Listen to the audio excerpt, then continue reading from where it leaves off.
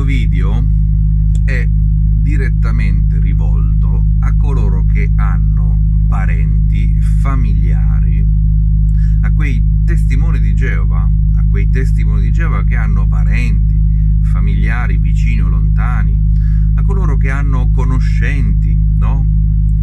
Lontani amici che invece non sono più, che hanno deciso di non essere più testimoni di Geova, di non essere più parte dell'associazione e che sono, hanno smesso di frequentare.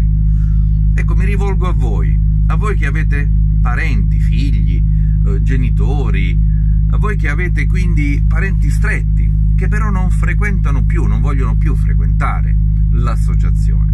Quando vi ritrovate tra voi, quando vi ritrovate tra voi alle adunanze, alle assemblee, quei grandi raduni che fate, tipo quelli che state facendo adesso quest'estate, che farete quest'estate, e tra voi, tra voi testimoni di Geova, vi salutate calorosamente, come stai, eh, come va, e, la tua famiglia, e i tuoi figli, oppure, e i tuoi genitori, io non li vedo più, ma che è successo? I tuoi figli, che è successo? Non li vedo più. Ecco, quando fanno queste riflessioni, che a voi risultano sicuramente un po' imbarazzanti perché voi siete ancora testimoni di Geova e i vostri parenti invece non lo sono più, hanno deciso di non frequentare più l'associazione. Ecco, vi chiedo, vi chiedo di essere onesti. Non ve ne uscite con le solite affermazioni per togliervi da quell'imbarazzo, da quel disagio in cui vi state trovando, dicendo eh, si sono raffreddati spiritualmente e eh, si sono allontanati dalla verità. Quale verità? Quale? Smettetela di usare questo termine buffo. Solo voi potete chiamare verità una verità che continua a mutare, che continua a cambiare. La verità è, cosa, è un concetto stabile, mi raccomando, ricordatelo.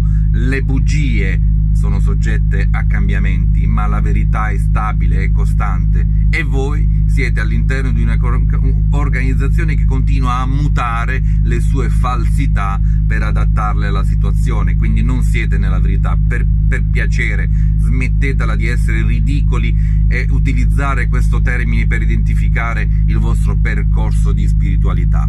Voi siete in un percorso, diciamo, siete in un percorso, in, in un è una cosa che voi avete scelto, avete il diritto di, di, di, perseguire, per carità, ma non siate buffi nel... non fate ridere utilizzando, mettendovi in bocca questo termine inappropriato per voi, la verità. Ecco, quindi state onesti, vi prego, noi parenti vi preghiamo di essere onesti quando vi fanno questa domanda. Che fino hanno fatto i vostri parenti? Ebbene, dovete essere onesti e dire i miei parenti, che ne so, può essere i miei figli o i miei genitori, i miei, i miei fratelli, i miei cugini, non vogliono essere più testimoni di Geova perché alla luce di Luca capitolo 21 versetto 8 hanno inteso che dice Badate che nessuno vi sbii, perché molti verranno in base al mio nome dicendo sono io, il tempo stabilito si è avvicinato. Non andate dietro a loro. Ecco, dovete essere onesti, dire i miei parenti si sono stufati di essere presi in giro i miei parenti sono stufati di essere presi in giro, si sentono presi in giro, si sentono ingannati dalla nostra organizzazione che noi invece vogliamo continuare a seguire a motivo delle false, dei fallimenti profetici avvenuti negli anni. Non hanno più voglia di seguire questa illusione. È questo che dovete dire. Luca 21,8 lo dice, sarebbero delle, delle ci sarebbero state delle istituzioni, dei gruppi, dei gruppi istituzionali che avrebbero ripetutamente detto il tempo stabilito si è avvicinato, la fine è vicina. Gesù disse, non andate dietro a loro, quindi dite onestamente non, non, dovete giustificare il fatto che voi continuate invece a seguire quell'organizzazione facendoci passare a noi come coloro che si sono raffreddati, che si sono allontanati, che hanno perso la fede, che no, no, no, così voi vi state, vi state salvando voi quando ve ne uscite con queste affermazioni nei confronti nostri, nei confronti dei vostri parenti che non vogliono più frequentare l'associazione, vi state salvando la vostra faccia. Invece no, dovete essere onesti e dire che si sono stufati di essere presi in giro. Non vogliono più essere presi in giro. Luca, Luca capitolo 17, versetto 20 e 21, chiaramente Gesù disse che il regno di Dio non viene in maniera appariscente, però ci sarebbero state persone che avrebbero detto eccolo il regno è qui, il regno, il regno è là. Gesù disse appunto non ascoltate queste persone. Se poi, se poi leggiamo Matteo capitolo 21, no perdonatemi, Matteo capitolo 24 versetto 11, e Gesù disse, e molti falsi profeti sorgeranno e svieranno molti.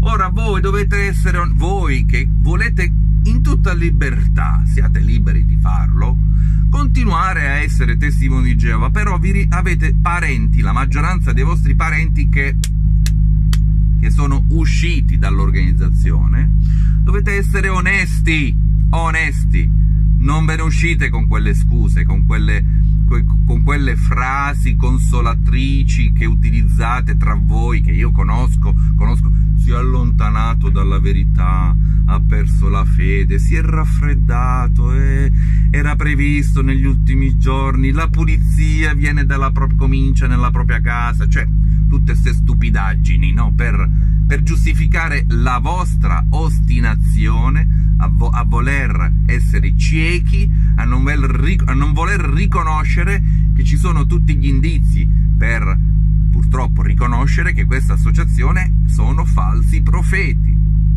Per tutti i fallimenti profetici e per tutti i cambi dottrinali che continuano a fare nel tempo e che poi la chiamate verità. Ma quale verità?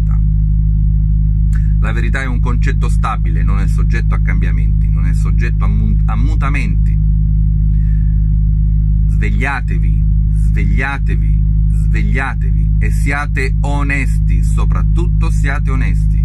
Quando conversate tra voi non cercate le pezze per giustificare invece la vostra, la vostra decisione libera, nessuno ve la contesta, ma il vostro decidere di ignorare gli indizi e le indicazioni che chiaramente dimostrano quanto fate parte di una organizzazione di falsi profeti, la società Torre di Guardia.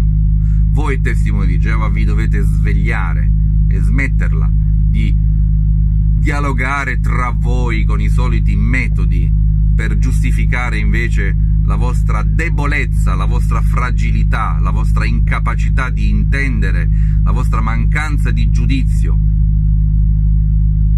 E riconoscere che siete poi vi fate fregare, vi fate fregare dalla società Torre di Guardia con quella solita frase, cioè ma non si serve Geova per una data non si serve Geova per la fine. E allora perché predicate il, la venuta del regno? E allora perché predicate Armageddon? Dovreste semplicemente, semmai, predicare uno stile di vita.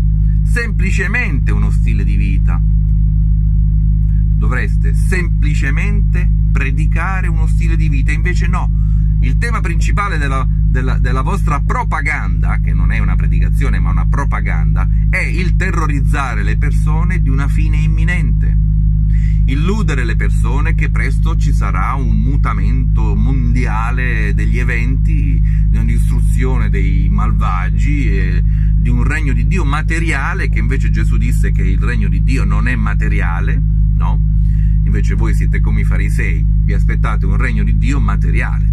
Gesù disse in Luca 17, 20 e 21 che il regno di Dio non si vede, non si può vedere, non è qualcosa che si vede, Ecco, invece voi andate illudendo le persone che presto sta per arrivare una situazione di questo tipo. E poi vi fate dire dalla società attorno di guardia, eh, ma non si serve Geova per una data. Cioè, ma, ma, ma siete coerenti, sì o no? Ma siete, illudete la gente di questo è imminente, è in arrivo, e là i tempi è finito, e, e poi no, non si serve, non si serve Geova per una data. Ma insomma, mettetevi d'accordo col cervello, vi dovete mettere d'accordo col cervello, col vostro cervello, dovete, dovete imparare la coerenza. Non dovreste avere come tema principale vo delle vostre riunioni, delle vostre assemblee, delle vostre adunanze, delle vostre pubblicazioni, della vostra propaganda, il regno di Dio è vicino, la fine è vicina, i tempi sono scaduti, eh, i segni degli ultimi giorni, e bla bla bla, e tutte le solite puttanate che vanno avanti da oltre 140 anni. Dovreste semplicemente concentrarvi sullo stile di vita, sull'aiutare le persone dovrebbe essere quello il tema principale, l'obiettivo principale della vostra propaganda, lo stile di vita, migliorare la propria condizione sociale con un atteggiamento diverso nei confronti della vita, invece no, voi continuate a insistere, a insistere, a insistere col discorso che la fine è vicina, la fine è vicina, e poi vi, vi dovete sentir dire dalla società di guai, ma non si serve Geova per una data. Allora tu che fai? Servi Geova per una data? Ma, vi, ma ma ci stiamo prendendo in giro? Ma cos'è?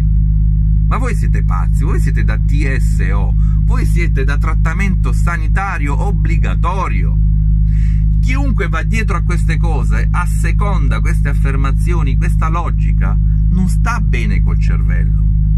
Potete realmente solo stare tra voi, perché non, non è normale, non è assolutamente normale questa impostazione.